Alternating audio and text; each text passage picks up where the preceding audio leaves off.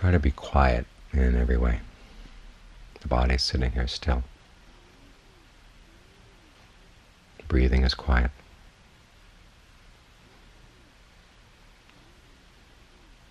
And as for the chatter in the mind, don't get involved. There are two ways of dealing with it. One is to block it out, say with a meditation word like buddho. You can just think buddho, buddho, buddho very fast. It's like jamming the circuits.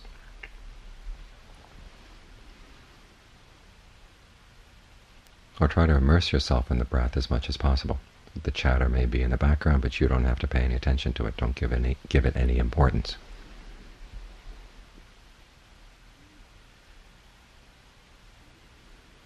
And you find that as you don't feed it, it grows weaker and weaker, and the mind really does get more and more quiet.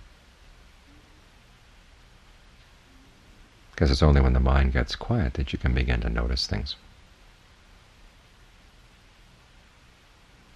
remember one time when I was in a, back in Rayong, a group of people came from Bangkok came up came up the hill where I was staying. It was in the old ordination hall there, an old concrete block building. And they came up and they exclaimed at how peaceful and how quiet it was there in the monastery. And then they sat down and they turned on their boombox. all the better to hear the peace and quiet with. And that's the way a lot of us are when we sit and meditate. The body's still, the breath is still, but the mind is like a boombox with all kinds of thoughts and concerns. And for many of us, meditation is the only time of the day when we really get to sit and be with our thoughts without any interruption. But that's not what it's for. We're here to watch, to observe. And so we have to do what we can to discourage the mind's involvement with all that inside chatter. The Buddha breaks it down to two types of activities. One is directed thought, and the other is evaluation. You direct your thoughts to a topic, and then you start mulling it over, commenting on this, commenting on that, backing up a little bit, restating things. Sometimes it's almost like there's several voices in your head taking on different roles. evaluating things from one perspective or another. And what you want to do is turn your directed thought to the breath and evaluate the breath. So you're using the mind's verbal abilities, its verbal tendencies, but you're trying to direct them to a better purpose, a quieter purpose. Because when you direct it to the breath, there's what what is there? There's not that much. Just simply notice when it's coming in, notice when it's going out, Notice when you're forcing it out too much, there's a kind of a squeeze. a squeeze that comes at the end of the breath. Or if there's a catch in the breath when you're when you're trying to pull it in. Notice how you relate to the breath energy. Which parts of the in-breath you like and don't like, which parts of the out-breath you like and don't like. Don't like. It's amazing that you can have all kinds of opinions even about this. But at the very least, as you get more interested in the breath, that helps other things quiet down. Because you're not feeding them. If you pay attention to those thoughts, those all that vagrant chatter in the mind, of course it's going to keep on going. Sometimes even paying attention to it to the extent of telling yourself you want it to stop, that encourages it. So you have to try another approach, which is Direct your verbal tendencies to the breath. Think up questions about the breath. That's how you direct your thought to things. What's this? What's going on here? Is it as good as it could be? Do your best to get interested in the breath. Then to evaluate it, you've just got to watch it. The more still the mind is otherwise, the more you can see. Ajaan Lee breaks the breath energy in the body down to three levels. First there's the in and out breath. And then there's the waves of breath energy that go through the body as you breathe in, as you breathe out. They go along the nerves, they go along the blood vessels. And then finally he says there's a still breath.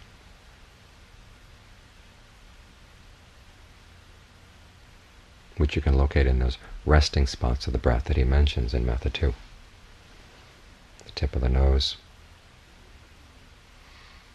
the palate, base of the throat, the tip of the sternum, the point just above the navel.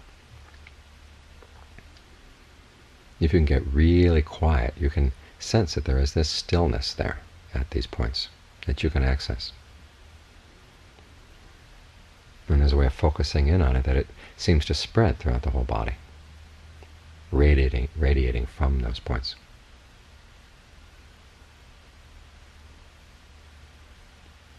Now the only way you can notice these very subtle breath sensations is to make the mind as quiet as possible. Just watch. Like a hunter. The hunter has to be very still so as not to scare the animals away. But at the same time, he has to be very alert so that he notices when they come. We can make a comparison with the mind state we try to develop. If we're listening to something far away, we want to hear it very clearly. We just get everything as quiet inside as possible. So we can pick up the subtle, the subtle sounds that are coming our way.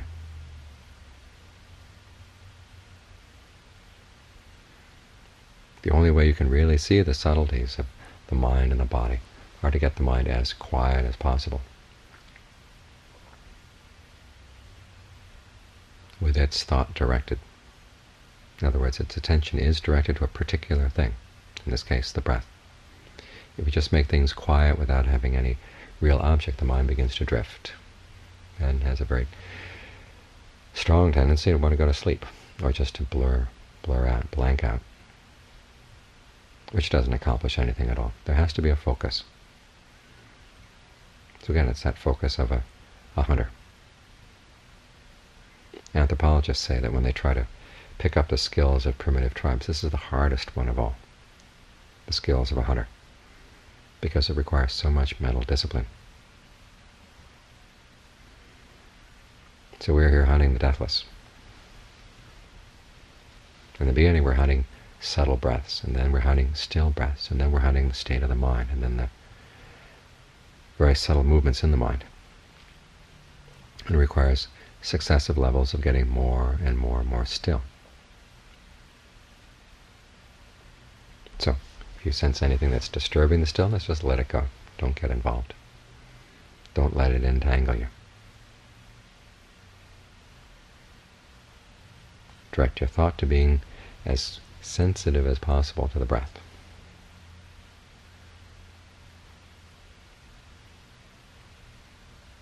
And to the point you find where you're with the breath so much, you're so immersed in the breath that you don't even have to direct your thought to it anymore. It's almost like your awareness and the breath are one.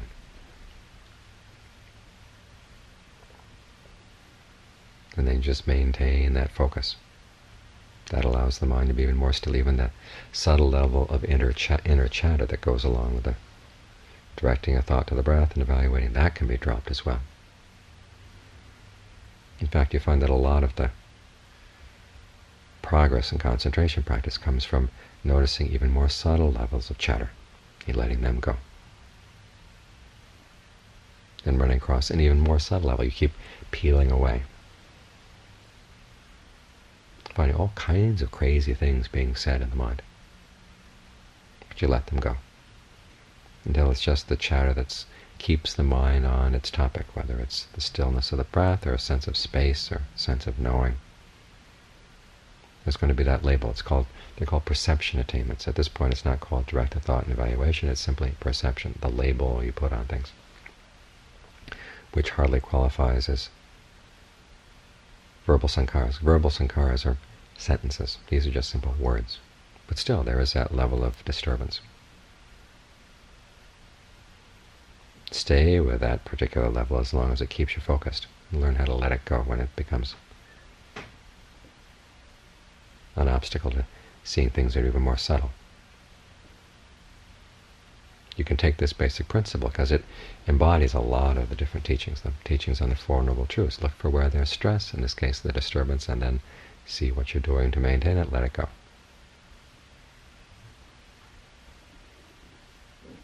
Or the teachings on emptiness. Notice what your mind is empty of. Notice what's still there, what disturbance is still there, and see if you can let the disturbance go without destroying your state of concentration. As the Buddha said, there is no happiness aside from peace. There is no knowledge aside from what can be seen with a still mind. Everything else is guesswork.